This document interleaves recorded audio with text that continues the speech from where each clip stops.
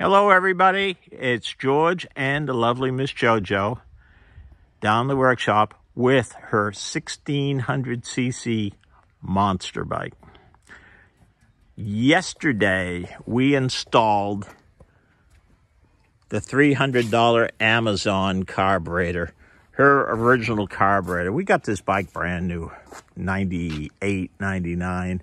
The other carburetor had issues and we got this brand new carburetor. Eddie doesn't know it yet, I don't think, but I'm going to send that other carburetor to New Hampshire. But she just took it for a ride, and are you happy? Very.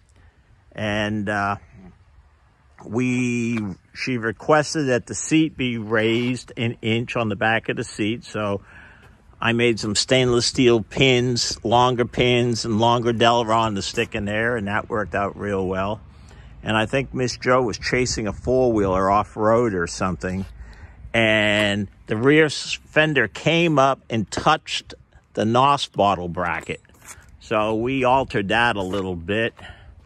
And that is not the new gas tank. That's the old gas tank that we just stuck on there temporarily so she could try it.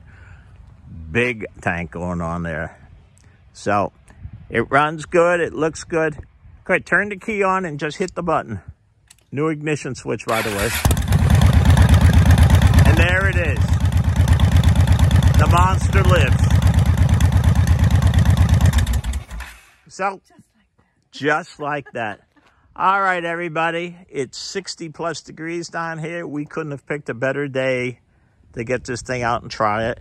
So now I know the carburetor's good, so we can put all the ram air back on it, that monster intake manifold, and hook the funny blue bottle back up. And this was an idea that I had to put, well, you put directional indicators on here because she didn't want anything on here, so everything came off. Well, that's the first prototype.